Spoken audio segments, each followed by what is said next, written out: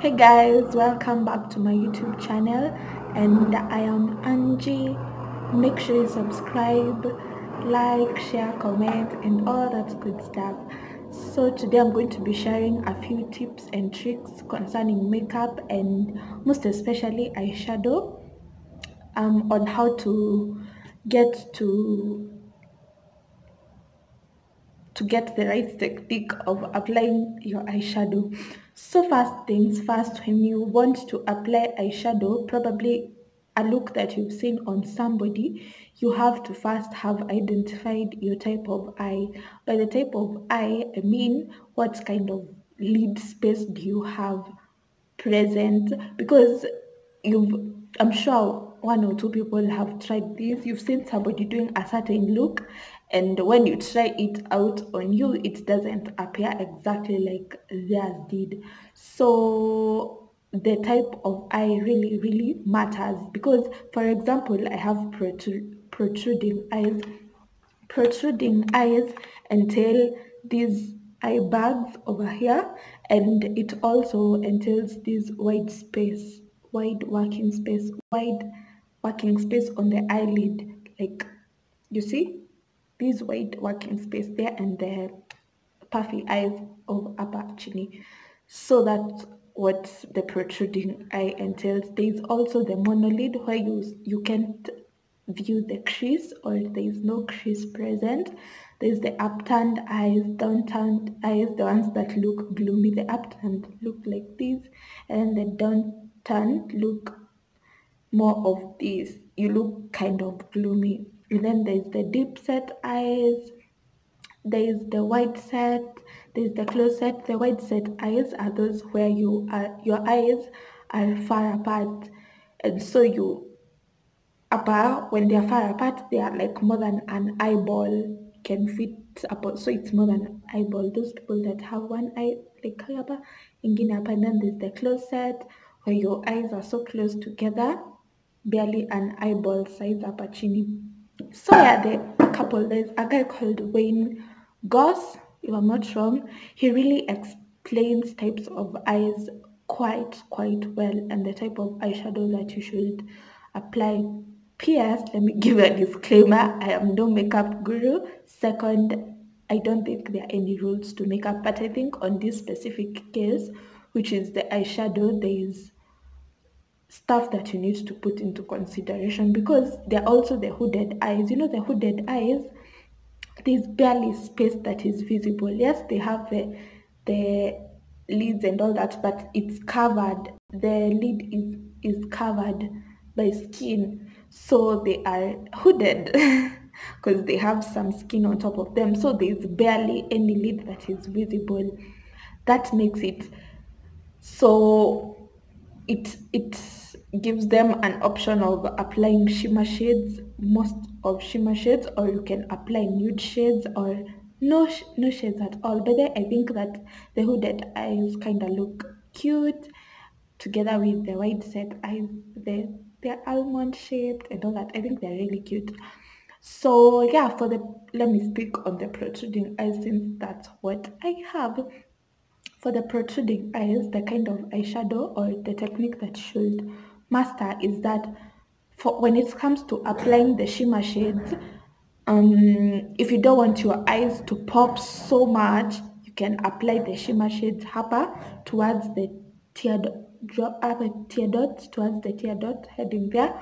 Or if you want your eyes to pop you really don't mind that you can apply the shimmer shade at the center at the center of your lid yeah the aim of not popping is making your eyes look longer. Like now if you see my eyes right now and you see them before they there's quite some big big big big difference. So yes that's something that should take into consideration sana because you you probably ask yourself why a certain look does not work on you and yeah those kind of questions just know it's because of your type of eye and there is a there is a technique for each kind of eye. For us, it's more, we are do I say versatile? But we are exposed to more options. Like we are, we can apply the smoky eye quite well, freely, cause because of the eye space and all that and all that. Yeah, there are tutor, there are so many tutorials that explain all of that. But go and check out Wayne. I'm going to put his description link hapa chini so that you can go and check him out. He explains the eyes quite, quite, quite well.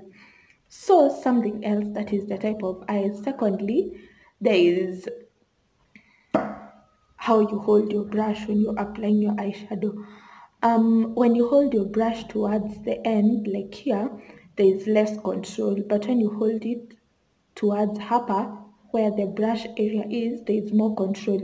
When you're holding it like this, you either want to remove the excess or, yeah, mostly remove the excess or just blend it in thoroughly or something like that. When you want more control, you hold it towards here. When you want less control, just here, yeah, towards the end. Yeah, that's something else. Mm. What else? when it comes to applying makeup, no, this is out of eyeshadow and all that. When it comes to applying makeup, you really, really have to take care of your skin, especially if your skin is prone to acne. You will see in my next video, which is going to be of how I achieved this beautiful. You'll see that my skin is prone to acne and you really need to take care of your skin. That is like the fundamental rule you need to take care of your skin before applying any of these. You need to wash your skin thoroughly, tone it, moisturize it, and all that. You really need to do all that in order to take care of your skin just in case it reacts to chemicals because foundation, concealers, and all that, all that could irritate your skin regardless of whether they are original or not.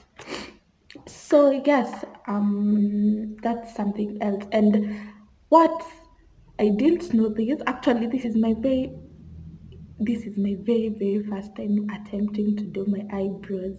In a previous video like my first video on makeup um, um I, I said that I don't do my eyebrows at all. I don't do I did I don't normally I didn't used to do. I think I'll try it out. I don't know how I feel about it yet. I'm yet to figure out whether I'll be trying it out more often or not. But for now this is my first time doing my eyebrows. My first time doing such a bold color on my eyes. And my first time applying false lashes. Eyeshadow and and eyebrows are no problem. Let me talk about the lashes.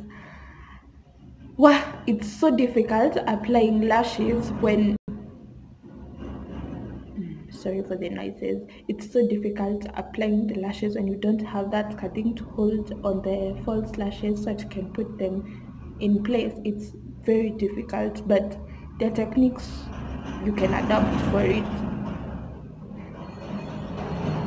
just in case it gets difficult for you to. And there's also a dozen a ton ton of tutorials on how to put on false lashes. Yeah so mm, i love them anyway but it's not something i do daily but i love the exploring yes. So i intend on doing a lot more of makeup videos and all that and all that and all that. So yeah if you have any question regarding eyeshadow and all that I really think eyeshadow is something great. It's it's a work of art. Like it's art. You know, it's like you're painting on a very small space, but it that small space really brings out a great difference in your makeup. Cause I, I prefer eyeshadow to lipstick. Yeah, I'd say that I'd prefer eyeshadow to lipstick. I'd apply gloss all the time with any kind of look, but for my eyeshadow, mm, it's gonna be diverse. So yes if you have any question ask me. My instagram handle is angie diaries as well. Go check me out there and yeah don't forget to subscribe. Please don't forget to subscribe. Yeah and like and comment and share to your friends anybody who is interested. Nini yes i'll try and post as often as i can probably on saturdays. Uh if fortunate enough saturdays and sundays. Yeah i really hope so. So until next